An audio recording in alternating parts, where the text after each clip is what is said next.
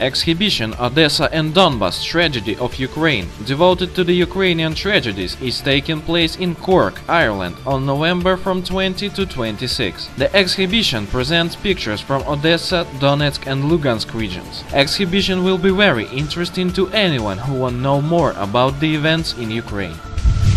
Czech President Miloš Zeman doesn't see any sense in giving financial help to Ukraine during the civil war. Does Ukraine government really believe that in EU live only easy trusted idiots who won't waste money for failed state?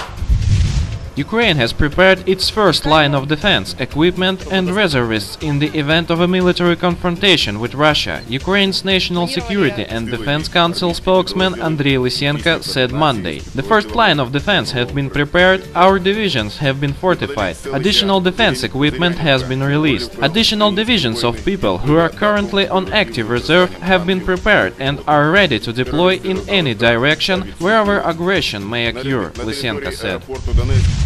Meanwhile, NATO prefers to ignore the humanitarian crisis in eastern Ukraine and Moscow's efforts to stabilize the situation in the country, the Russian Foreign Ministry said Monday. Sadly, NATO prefers to demonstratively ignore Russia's consistent efforts to stabilize the situation in Ukraine, as well as the worsening social and economic situation in the southeast of this country and its de facto blockade by the Kiev government, said Maria Zakharova, the deputy head of the ministry's information and press department.